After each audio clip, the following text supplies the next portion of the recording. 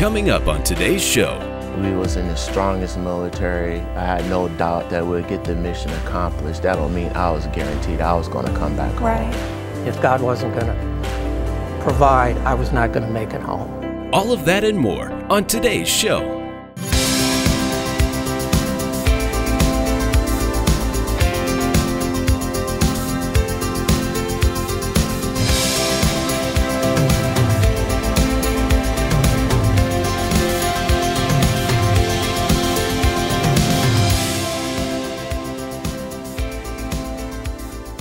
To the show. My name is Reverend Steve Millar, and this is my wife, Kathy, and our program's about God's keeping power.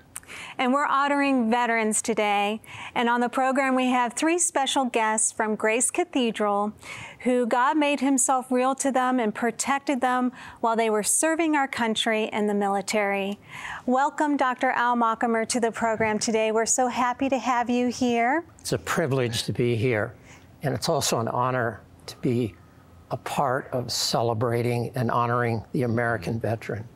Um, I think sometimes we forget that, you know, in being America, land of the free, home of the brave, we forget freedom isn't free. And the price of freedom is the veteran Yes. and what he puts on the line and the suffering that's a part of that. And, you know, my story goes back. Uh, I finished college, came from a poor family. God made a way for me to go to school. Uh, I had a great mother, great grandmother. They taught me about the Lord, and I was able to yield my life to the Lord. But in 1968, I was drafted, and I had a choice. And the choice was really whether I would honor that and I would serve in that conflict. That conflict was at its peak. It was mm-hmm. raging, and the draft was brought about to bring in reinforcements. A lot of my peers were leaving to Canada mm-hmm. to avoid the draft. So I basically said, and this is in my mind, I'm leaving not to go to war, but I'm leaving to defend mm-hmm. my country Right. and its rights. And I'd like to share a little bit of the Declaration of Independence with our viewers today, but part of it being all men are created equal and they're endued with certain rights, uncompromised rights life, liberty, the pursuit of happiness, and the defense of those rights is what the veteran is all about. Uh, we may have different ways we talk about our experiences or whatever, but we made that choice and we put our life on the line. Uh, I was drafted in 68. I spent five months training. March of 69, I flew into Cam Ranh Bay, got off the troop carrier. It was 103 degrees. The flares were popping. The airport was basically under some uh, testing by the various uh, VC elements. And it was my introduction to war. Um, I trained as a military policeman, which basically says we were trained in a variety of things, everything from security down to combat. So I, in essence, was assigned to the 93rd Military Police Battalion in the Highlands. Um, and we provided support for basically four infantry divisions, the 4th Infantry in Pleiku, Bamei We provided support for the Tiger Division, 173rd Airborne Brigade, and then finally the 1st Air Cav. I was a part of a group, and we helped convoy that division into Cambodia in the invasion of May. So my life was a whirlwind. I don't know where to break into that whirlwind.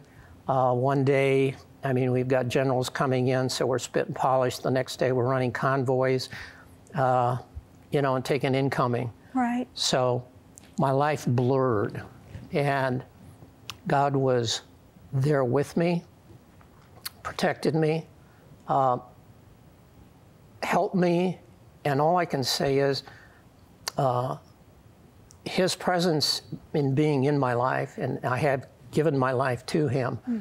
Um, I didn't have fear, but I had great loneliness.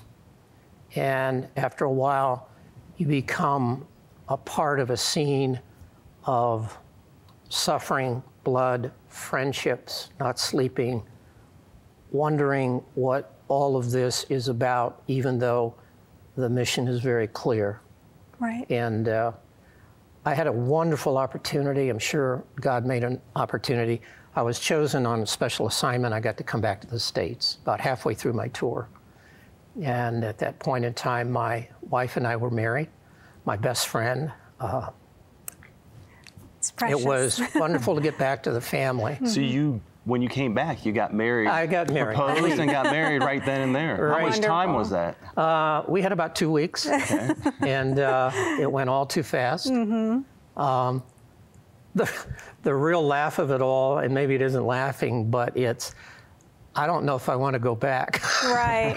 Well, I imagine that would be hard. I had, I had, uh, I had about six months left, so um, I'll have to troop carrier back out of Fort Lewis and back into mm-hmm. the country, and I felt I made a mistake because everything seemed to be so much worse, mm-hmm.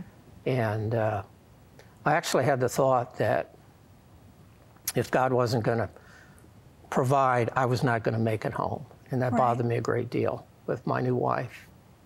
Um, I, you know, I, I guess I could tell a lot of different things. It's just that uh, fighting, dying, suffering, at some point your body starts to just tighten. And uh, I remember that just before I came home, this was a couple of weeks before I came home, um, I had to go out to the military airport, and I went out. I had my own Jeep and probably some other liaison people, and we went out and uh, we were kind of checking on some flight plans. I had to get a helicopter for a mission, and so we had to make those arrangements. But we were on the tarmac, and there were some big planes there, and all the body bags were laid out. Wow. Mm-hmm. They sacrificed so much. I'm sorry, No, Yeah. it's understandable. but you know, you just kind of push it off. And I mean, I'd seen that before. It's just that I was tired. And I had to run down, and part of that day was I had to go down to, to, to take care of some POW matters. And the field hospital was right next to the POW. And I'd never been in the field hospital, and I thought, I'm just going to step over here. I mean, and um, this is where the wounded were choppered in, and they would perform uh, kind of a, a quick stage, stabilize them, and then they would fly them out to Japan or Philippines for the, uh, the severe cases. And uh, I stepped into the operating room, and, the, and the, uh, it was just it was a flurry of activity. It was it was just it was just like a tent, but they had like a, a floor of tile just to kind of seal some of the dirt and the mud and different things off. And uh, it must have been a, a severe engagement somewhere close because the choppers were coming in, the medevacs. And uh, I happened to look in and I saw the surgeons and they were just operating at a feverish pitch. And uh, the blood was so thick on the floors of the, the field hospital that it was Right. over their ankles. That's a lot to take And I thought, that's, those are American. It's, it's best sons.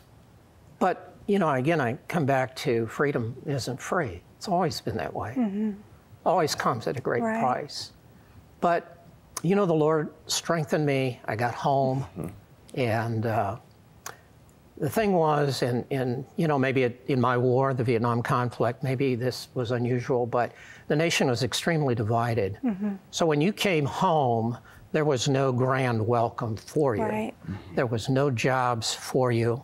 Uh, if you traveled through the airport, you got rid of your uniform because you had nothing but conflict. Right. Yes. So uh, With I got home.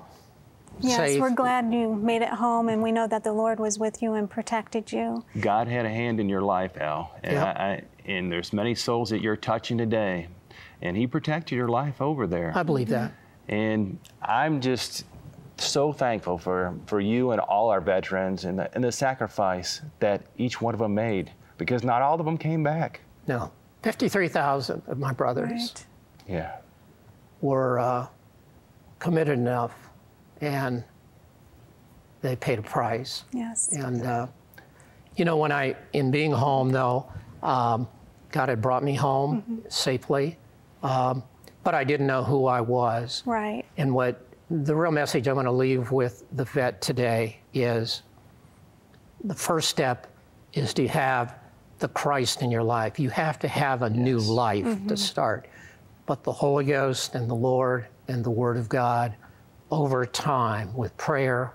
And I, I was back worshiping the Lord with my family. That's wonderful. Well, it's wonderful to have you on the program today, and I just thank you again for being a veteran. And we're honoring our veterans today.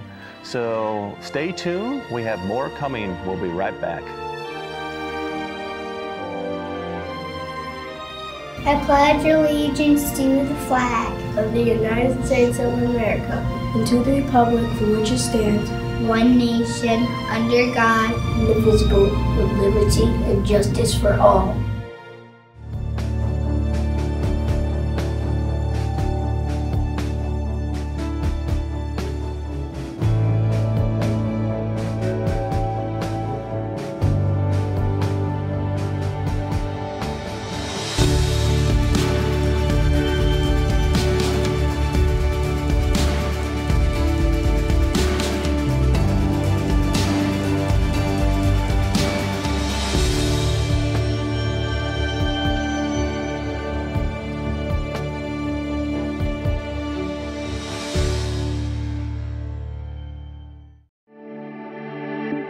You like a friend with supernatural powers? Someone who can protect you from the dangers of this crazy world? Someone who can whisper love and encouragement when fear overwhelms you? Someone who can guide you through life's storms and, most of all, will never leave you?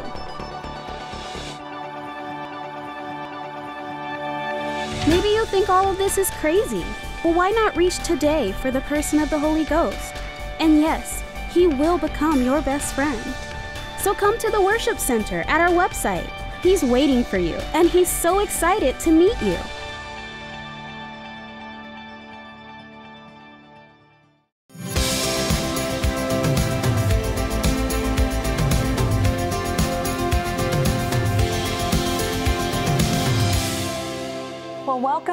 We have some more veterans with us today. We have Tony and Cheryl Swain from Grace Cathedral. Welcome. We're so happy you're here. Oh, thank you. And we want to start off by saying thank you for your service. we appreciate it. Thank you. And so, what branch of service did you both serve in? Oh, we both were in the uh, United States Army, yes.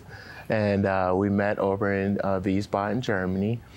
I was just getting back from the Persian Gulf War. Uh, I went in of March 89. Um, I was deployed over to the Persian Gulf of March 1990. Um, I was out on a uh, field training out in Germany. Uh, this was about midnight. Um, someone came and relieved me off of guard duty. Um, I went into my sergeant's uh, tent. There was an officer there, and there was my orders. They were letting me know I was being deployed over to the Persian Gulf. Wow. Uh, it was absolute shock um, because my actual unit wasn't going, but they needed support. So they pulled three of us from our unit to support a unit over in uh, the Gulf War. So I went over with uh, the 1st Battalion, 27th um, Artillery Unit, and we was a part of our artillery uh, battery that gave us strength over in Desert Storm.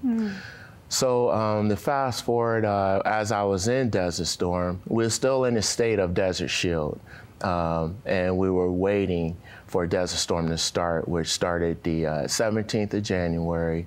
And um, in the midst of this time, for the first time, I felt I was in a situation that was totally out of my control.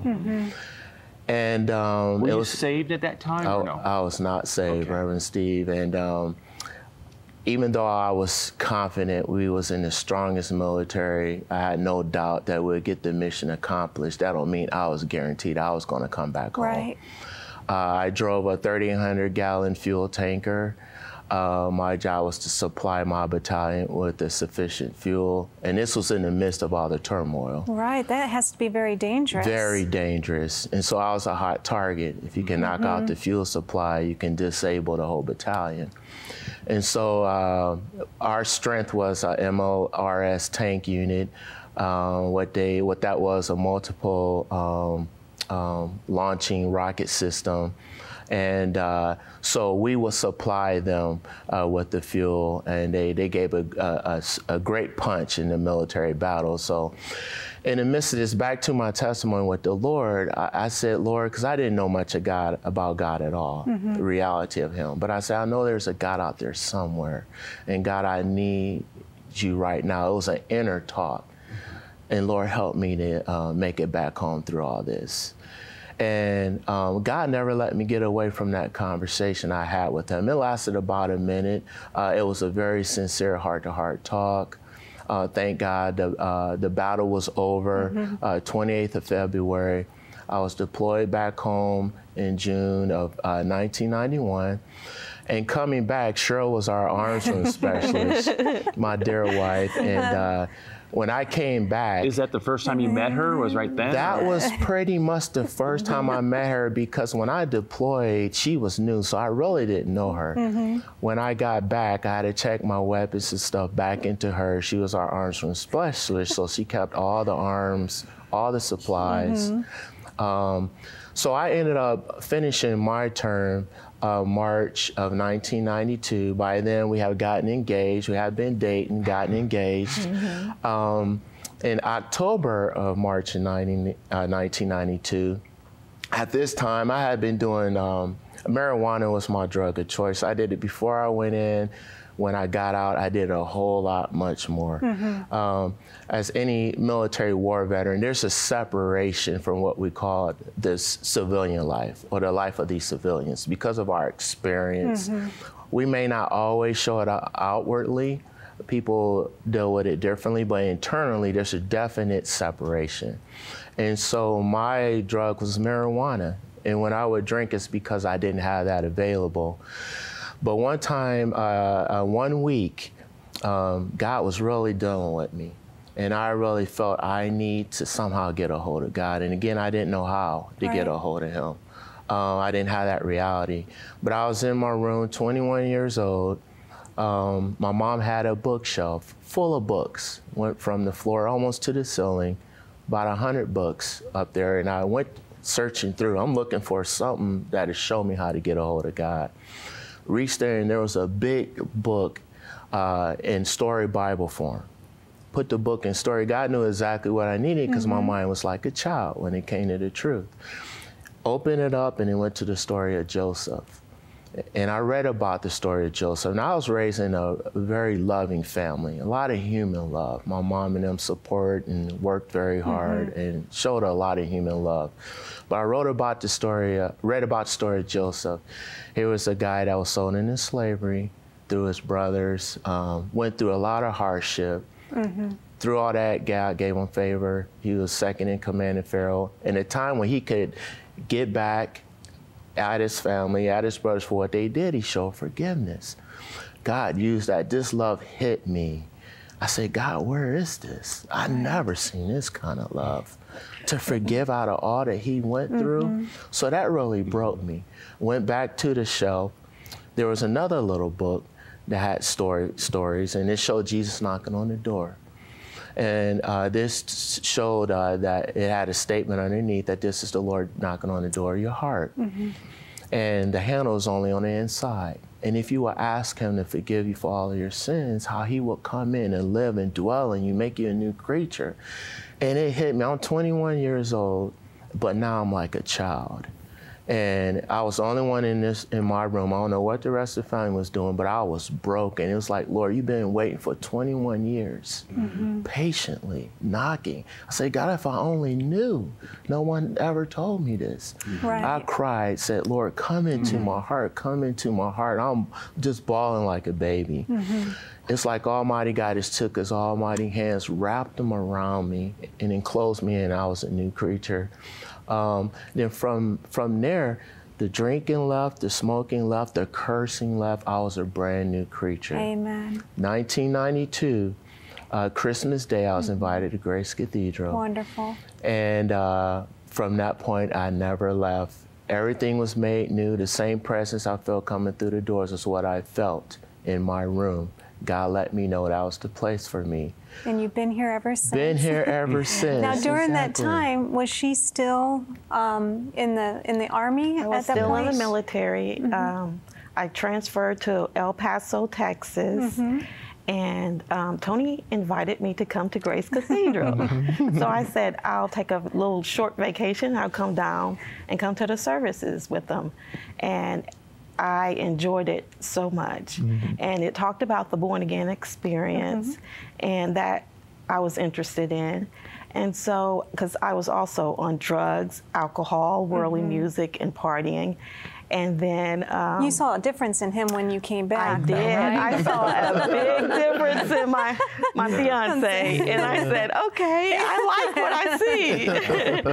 and so I start. Uh, uh, got out of service a little bit early because my unit was going to Saudi Arabia. Oh wow. Yes, and I talked with my fiance Tony, and he we talked about it, and we encouraged he encouraged me. I think you should get out a little early, so I did, and then that's when I started attending services here at Grace mm-hmm. Cathedral, mm-hmm. and then I gave my heart to the Lord, and I gave up the drugs, the alcohol, the partying, Praise and I became a born again Christian. Have no desire to go back into the mm-hmm. world. Amen. And now you have a good, godly Yes. marriage. Yes, Yes. beautiful Yeah, marriage we had to through the date- Lord. We had to date all over again Oh. because we were born again Christians. Mm-hmm. Right. so The you right- dated the right way. The right That's way. Mm-hmm. beautiful. I love mm-hmm. that. Mm-hmm. Well, that's precious how God brought you two together. He protected you while you were in the mil- military and just had your love grow in Christ.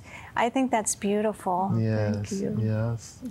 And I love how the Lord just, you know, in that dangerous position you were in, how He mm-hmm. was able to overshadow you. Exactly. And to hear that prayer, even though That you were prayer. a sinner. Yes, and I let the people know here. You know, we pray a prayer every every day, and that's for those that are closest to hell, and those who have no mm-hmm. one to pray for them. Right. And I told the members here, I'm an absolute answer to that prayer. Those that were in this uh, ministry that would pray that prayer, that had direct contact with the Lord, because they're their holy, living, righteous life, living free from sin. God was able to hear that prayer and reach me all the way over in, in Desert Storm. Right. So I'm an absolute answer to that prayer. right. Well, the Lord wants to make us all new new creatures in Christ. I- Exactly. I've seen it time and time again where someone gives their heart to the Lord Yes. and everything changes in their life. Yes. You know, I know that happened to me Yes. and my wife.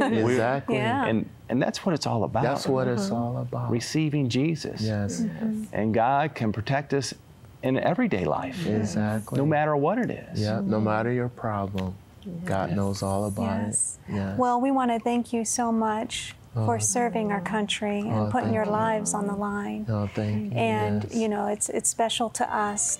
And we're so glad that we have this opportunity to thank you. Yes. And all the vets out there that are watching, you know, we want to thank you for your service. And we pray that the Lord continue to bless you and overshadow you in your day to day life. We'll be right back. God bless you.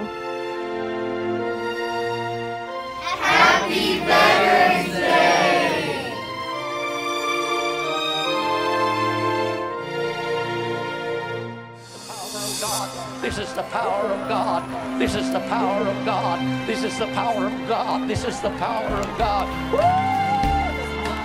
All things are possible to him that believeth. Thank God. Jesus Christ is the same yesterday, today, and forever.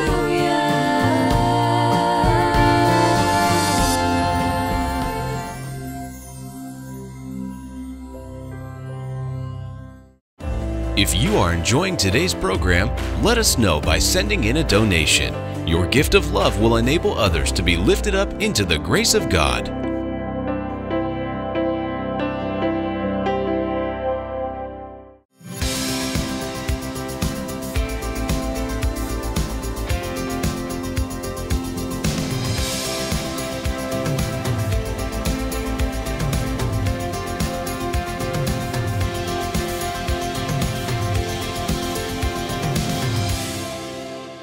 You enjoy what you heard on the program today. God is an all seeing God. And friend, He knows what you've been through. He knows the storms and the trials that you have faced. It doesn't matter what life has thrown at you. God made you, He can heal you of every sickness or bondage that may be in your life. Let the Lord move for you today. Let's go ahead and take your request to the throne of grace and let God move for you. Let's go ahead and pray now. Lord, Heavenly Father, break their bondages and set them free. Heal them of any sickness or disease that's in their body. Give them the strength that they need. In the blood name of Jesus Christ, I pray. Amen. Amen. God bless all our veterans. And we want to invite you to come to Grace Cathedral this morning at 10 a.m. We hope to see you soon. And in honor of your service, we want to leave you with this special song titled, We Need Your Saving Grace. God bless.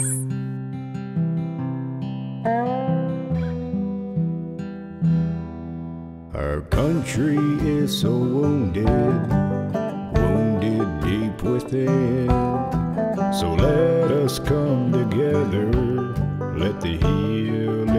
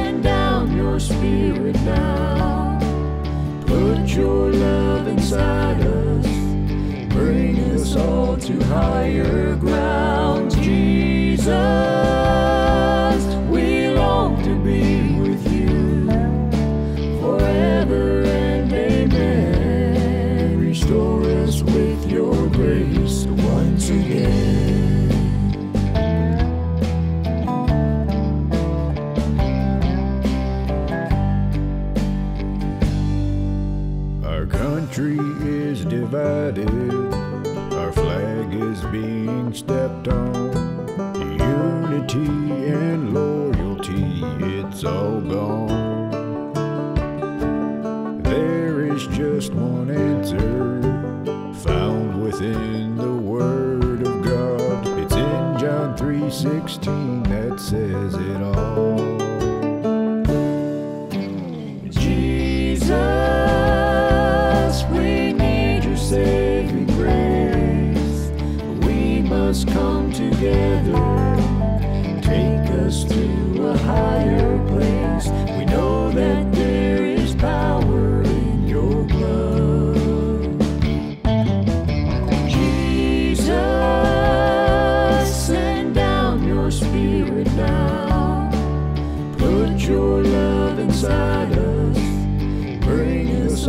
To higher ground. Jesus, we long to be with you forever and amen. Restore us with your grace once again. If this program has blessed you today, let us know on our Facebook page. You're also invited to attend any of our services. Come and witness the wonderful things of heaven for yourself. This program has been made possible by the friends and partners of Ernest Angley Ministries.